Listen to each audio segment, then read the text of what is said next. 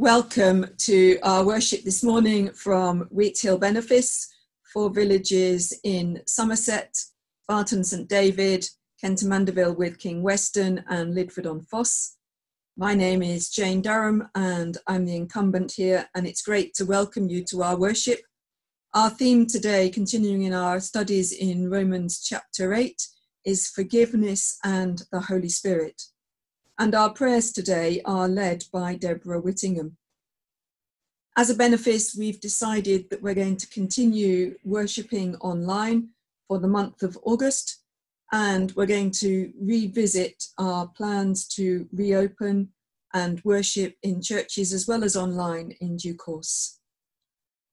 This order of service for today is that of morning prayer. And when we come to the intercessions, our intercessions are led by Deborah Whittingham.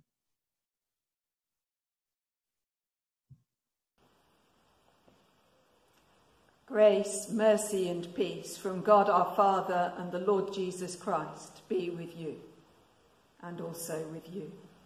This is the day that the Lord has made, so let us rejoice and be glad in it. Welcome to our worship for this morning, which comes from inside King Weston Church, and it's great to be able to welcome you here to worship with us. We're using um, an order of service for morning prayer, and you can find that along with um, this morning's order of service on our parish website, wheathill.org. And so we continue in prayer. Blessed are you, Lord our God, creator and redeemer of all. To you be glory and praise forever. From the waters of chaos you drew forth the world, and in your great love fashioned us in your image. Now, through the deep waters of death, you have brought your people to new birth by raising your Son to life in triumph. May Christ, your light, ever dawn in our hearts as we offer you our sacrifice of thanks and praise. Blessed be God forever.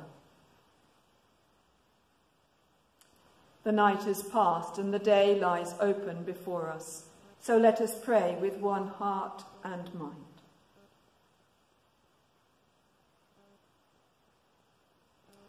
As we rejoice in the gift of this new day, so may the light of your presence, O God, set our hearts on fire with love for you, now and forever. Amen. And as we continue in prayer, we come to confess our sins to God. And the confession is on the order for this week. So let us return to the Lord our God as we say to him, Father, we have sinned against heaven and against you. We are not worthy to be called your children. We turn to you again. Have mercy on us. Bring us back to yourself as those who were once dead but now have life through Christ our Lord. Amen. May God our Father forgive us our sins and bring us to the fellowship at, of his table with his saints forever. Amen. And our first hymn this morning picks up on that new life that we are given, a new life that we'll be considering later on in our service, as we hear or join in with, I am a new creation, no more in condemnation. Here, in the grace of God, I stand.